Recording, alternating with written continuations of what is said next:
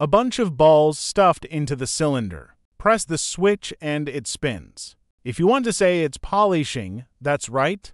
This is the model aircraft process often referred to in the machining industry. You can see the sanded cylinder. The inside is full of dense textures. It doesn't feel good. Hey, this texture has a special effect.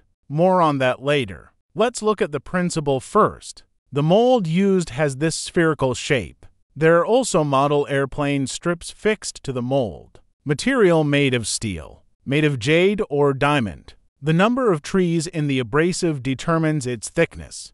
The larger the number of trees, the finer the abrasive, the higher the grinding accuracy. He goes through the rotation of the air head, friction with the surface of the inner hole. The abrasive particles on the air friction head are like small, like a knife, bit by bit, smooth bumps on the surface, and there's a kind of back and forth motion.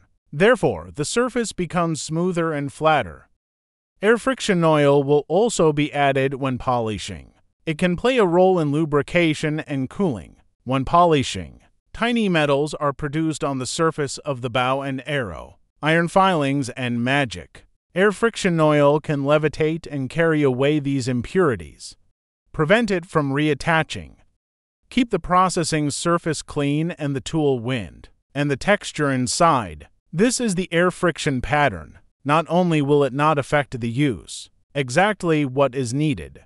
These staggered textures, they act like tiny oil tanks when the piston reciprocates in the cylinder. The lubricating oil in these textures will be released, provides access between the piston and the cylinder wall. Continuous lubrication, reduce direct contact and friction between metals. It also enhances sealing.